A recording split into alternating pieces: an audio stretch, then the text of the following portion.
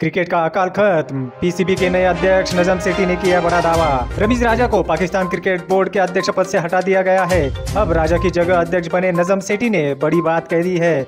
नजम सेठी ने कहा है कि अब हज़ारों क्रिकेटर को फिर से रोज़गार मिलेगा और अकाल खत्म हो जाएगा। नजम सेठी पहले भी पीसीबी चीफ रह चुके हैं। नजम सेठी को पाकिस्तान सरकार ने अगले चार महीनों तक क्रिकेट का संचालन करने के लिए उनकी अगुवाई में चौदह सदस्यीय पैनल की भी नियुक्ति कर दी है।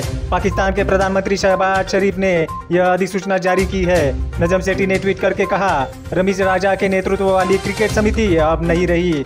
2014 का पीसीबी संविधान बहाल हो गया है। प्रथम श्रेणी क्रिकेट को पुनर्जीवित करने के लिए मैनेजमेंट पैनल अथक प्रयास करेगी। हज़ारों क्रिकेटरों को फिर से रोज़गार मिलेगा। क्रिकेट का अकाल खत्म हो जाएगा। सेठी 2013 से 2018 तक पीसीबी के अध्यक्ष और मुख्य कार्यकारी अधिकारी रहे थे। उन्होंने 2018 के आम चुनावों में इमरान खान की पार्टी की जीत के बाद अपना पद छोड़ दिया था। न्यूजीलैंड के खिलाफ 26 दिसंबर से कराची में शुरू होने वाली दो टेस्ट मैचों की श्रृंखला से कुछ दिन पहले घटे इस घटनाक्रम पर अभी तक पीसीबी या रमीज राजा ने कोई प्रतिक्रिया व्यक्त नहीं की है। रमेश राजा को पूर्व प्रधानमंत्री इमरान खान ने सितंबर 2021 में पीसीबी का अध्यक्ष नियुक्त किया था। वह 15 महीने तक इस पद पर थे। एहसान मनी के पद छोड़ने के बाद रमीज राजा पीसीबी के छत्तीसवें अध्यक्ष बने थे।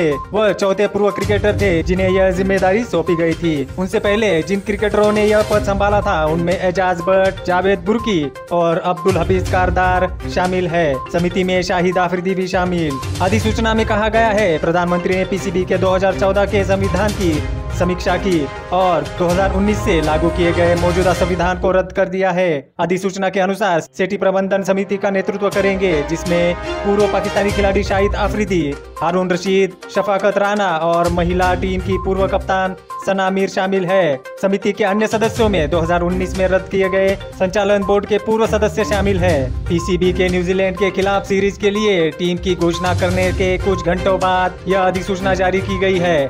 न्यूजीलैंड की टीम 19 साल बाद टेस्ट सीरीज़ के लिए पाकिस्तान का दौरा कर रही है। पाकिस्तान को हाल ही में इंग्लैंड के खिलाफ शून्य तीन से हार का सामना करना पड़ा था।